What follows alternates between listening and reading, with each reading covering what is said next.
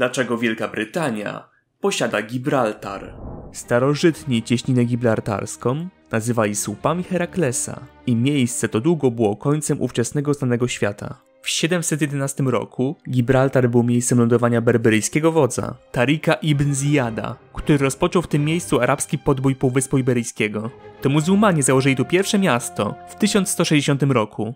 Dopiero w 1462 roku, w ramach rekonkwisty, miasto Gibraltar zostało zdobyte przez Hiszpanów i pozostało w ich rękach do początków XVIII wieku. Po bezpotomnej śmierci króla Karola II Habsburga w 1701 roku rozpoczęła się wojna o sukcesję hiszpańską. To podczas tego konfliktu w 1704 roku Gibraltar został zdobyty i utrzymany przez flotę brytyjsko-holenderską. Na mocy traktatu pokojowego w Utrechcie w 1713 roku Gibraltar na wieczność został przekazany Wielkiej Brytanii. Hiszpania kilkukrotnie usiłowała odzyskać utracony port przy użyciu siły i dyplomacji, lecz bez skutku.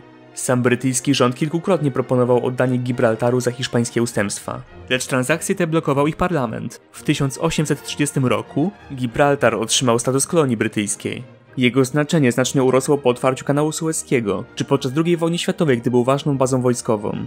Mieszkańcy Gibraltaru dwukrotnie odrzucili możliwość przejścia terytorium pod hiszpańską jurysdykcję w referendach z 1967 i 2002 roku. Dzięki temu do dziś teren ten należy do Wielkiej Brytanii.